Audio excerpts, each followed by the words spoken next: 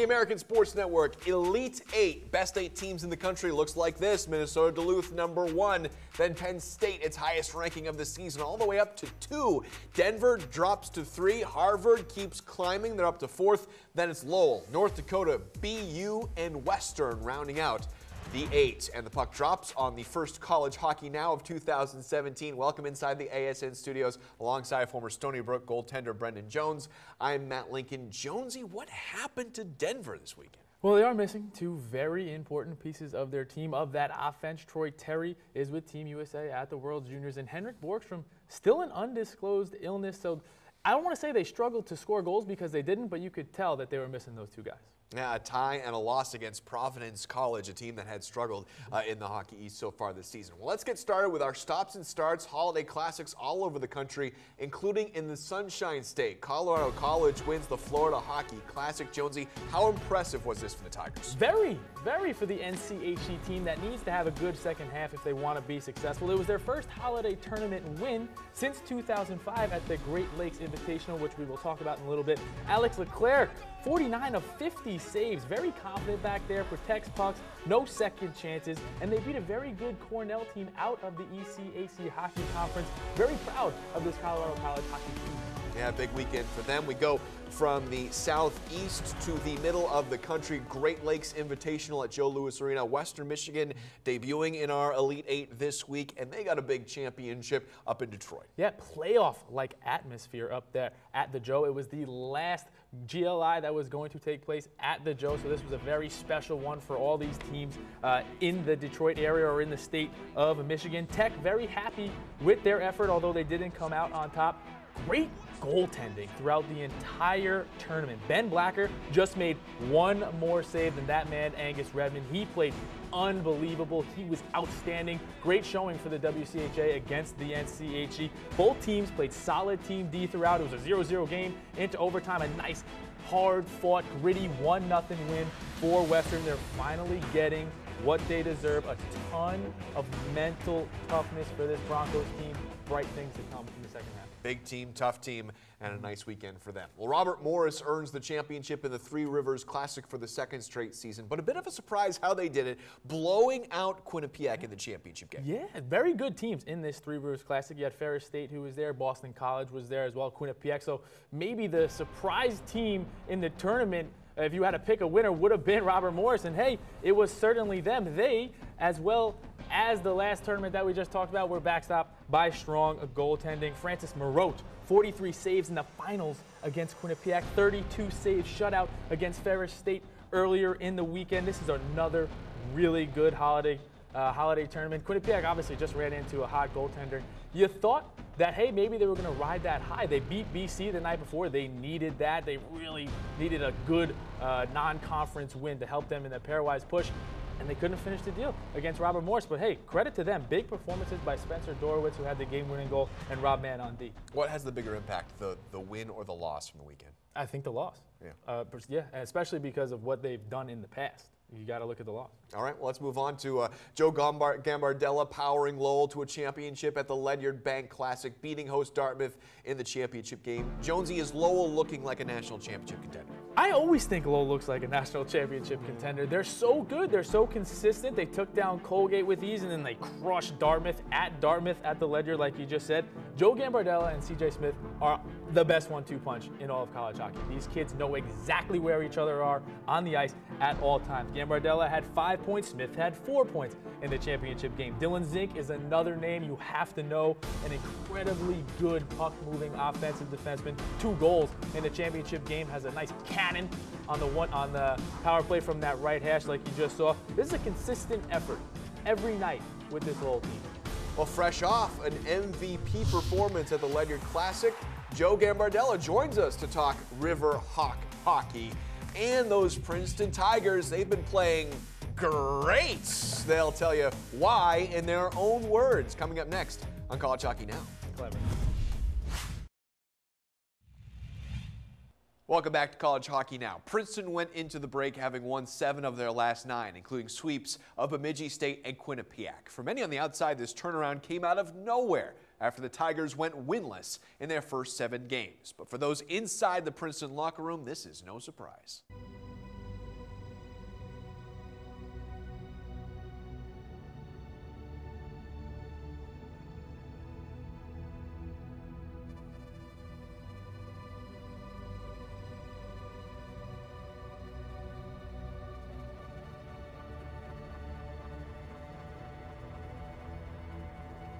For two and a half years now, we've been playing essentially the same exact systems, and we've been able to progressively eliminate um, mistakes and like deviations from our system. And I think we've been playing the right way for a long time now, and just not been able to see these tangible results, which we've been seeing recently. And I think it all started in Bemidji, and we've been kind of rolling ever since. I think just just playing the systems like they want us to and working hard in practice every day just makes it a lot easier. And finally, we've been able to get results, get the bounces we've been looking for, and then finally get some goals with the D and Phinney playing unbelievably too. So it's all just been uh, added up to success. The veterans are doing a great job, and uh, the rookies coming in have given the opportunity uh, immediately to uh, you know play in a lot of impact situations. Uh, it, it, takes time when you uh, have a new structure and system, um, and you have to make sure that you stick with it. You have to be patient. You have to be poised with it as well. Um, but it's great to see the victories coming now.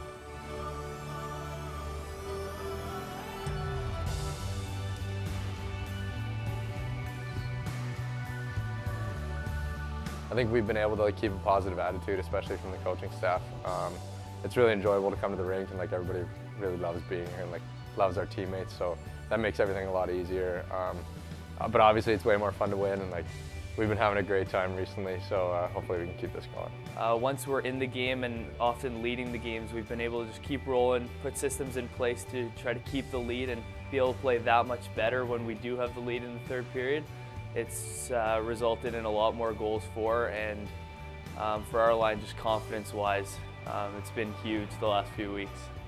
Uh, we're attacking the line with numbers and uh, making good reads of either to carry the puck in or get it deep. Um, our play down low has been excellent all season and we're getting a lot of pucks to the net with traffic and um, there's been some dry spells when guys have been a little bit slumps but now they're scoring at a good clip and, uh, and a lot of balance scoring as well too. uh, to string together two wins against, again, a top 10 team and our travel partner is, uh, was a great opportunity and we're just glad that we could go take it. I feel like the Quinnipiac series showed that it wasn't a fluke that we've won, uh, won a few over the last few games. So I feel like it's just the process that we've put into place, which has really generated a lot of success. But even during this winning streak, you keep learning from your mistakes and learning through your successes.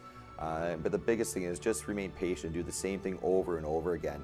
Uh, your standard of play has to remain consistent, getting better, regardless of wins or losses.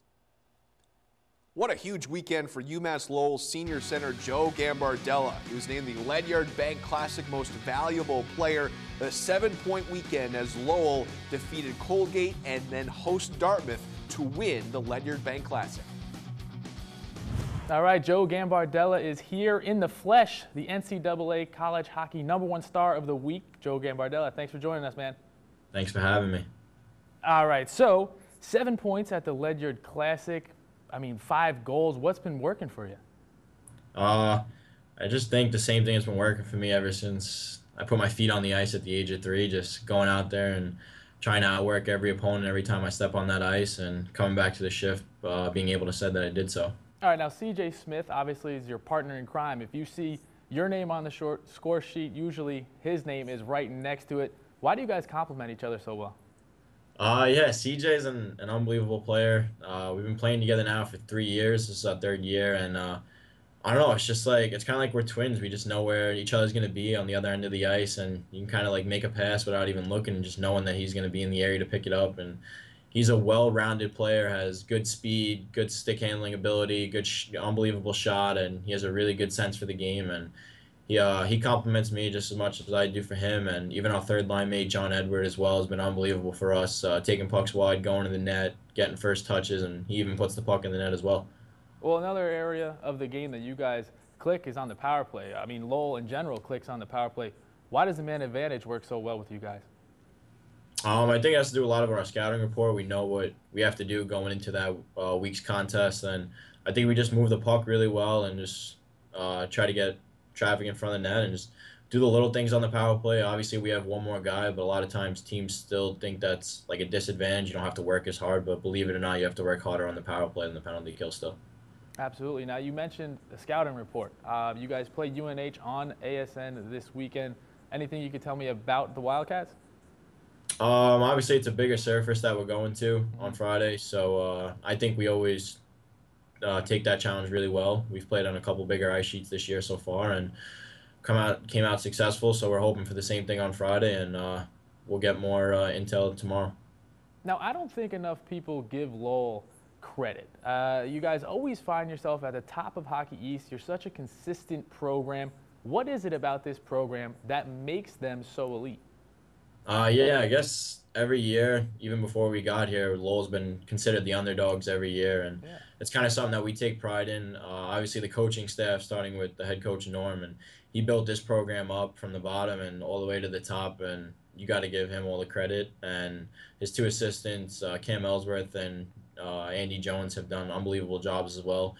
Uh, just with the recruitment process and just making sure the cultural Lowell always stays in effect around the rink and even in the community. And I think a lot of the fans and people take pride in that, and that's why every year Lowell is considered like an underdog, and but we know what we're going up against every year.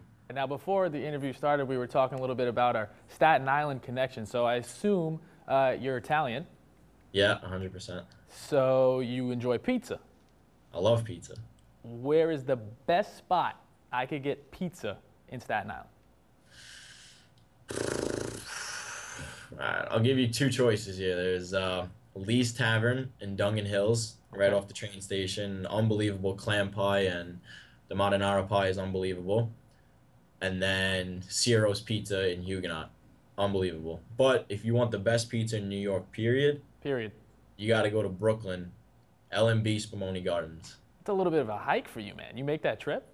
Yeah, it's worth it 100%. It's about a 25 minute drive without traffic, but obviously the thing about in New York is traffic, so Yeah.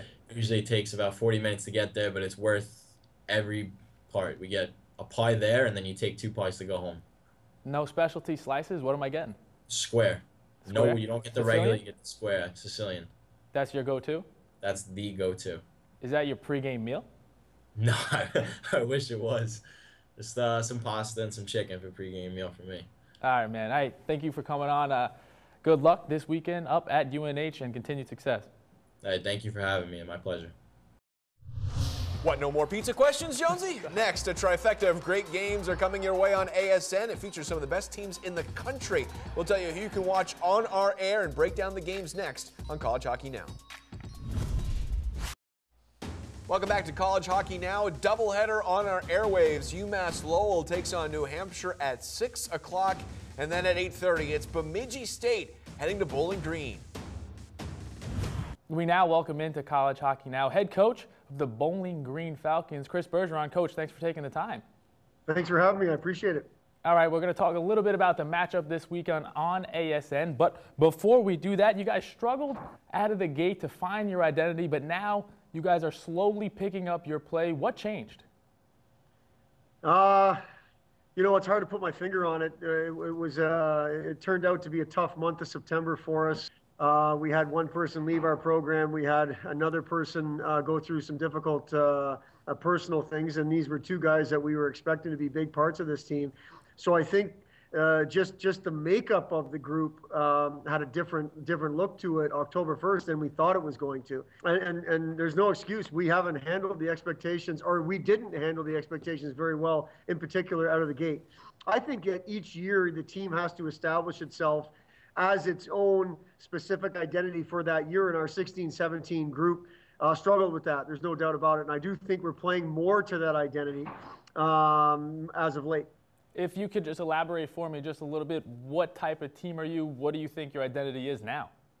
Well, we have to be a team that's hard to play against, and that doesn't just mean physically where you're where you're you know a good checking team and a good defending team. We we want to have the puck on our stick, and what we've struggled with is turning the puck over. We we just have not had the puck possession time that we normally have, and then the other part. Um, our special teams have been a roller coaster ride, just like our record but ultimately it's just you know it, it's it's playing to who we say we are which is a puck possession hard to play against team our intensity and our competition level and our energy uh, hasn't been to the level that we've established and when you look at our record especially at home We have not ha- been the team at home that we've been in the past. So uh, again, it's it's just basically not playing to who we say we are.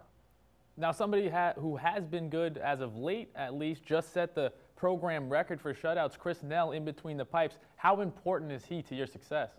Well, he's massive. Uh, you know, he's a guy that he's one of those guys that struggled out of the gates. I mean, he had a, a difficult uh, family situation the month of September that he had to uh, wrap his arms around and, and get through, and, and, and we tried to help him with that. Uh, but his game showed signs of somebody that was struggling with it early. Uh, as of late, he's been better. Uh, his last start, which we're always measured on, we're only as good as our last game. His last game was really good. Uh, but he's a huge piece of this thing for sure. And, you know, long second half to come. But I do want to talk about the game that's coming up on ASN against Bemidji. This is your second series against the Beavers. What'd you learn from them the first time? And do you prepare for them any differently this time? Uh, well, we don't prepare for them any differently. Mm-hmm. What we learned from them is that they're for real in, in 2016, 2017. Not that we didn't think they were. I think their senior leadership from Marinaccio to O'Connor and, and these guys that, that, at least they come again from an opposing coach perspective. Um, this is a group that that's for real. They're confident as they should be based on their record, based on the, the, the, the what they've done, their body of work to this point. But that series in October, they took it to us, and and that hadn't happened to us very often. Uh, and, and I, I hope our guys uh, yes, we want to focus on this series and not, you know, not dwell on that one. But I hope our guys remember and understand how difficult this is going to be because this is a really good Bemidji State team, and, and uh, I think it's a great challenge for us at a time of the year where we want to we want to make amends for not a very good first half, and and I think it's a great opportunity for us to start the second half. Absolutely, certainly. Uh, the biggest series of the year thus far for you guys. Coach Chris Bergeron from Bowling Green, thank you so much for all the time.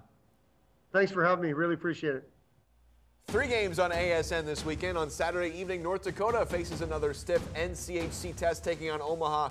Puck drops at 8 p.m. on ASN. Check your local listings at AmericanSportsNet.com.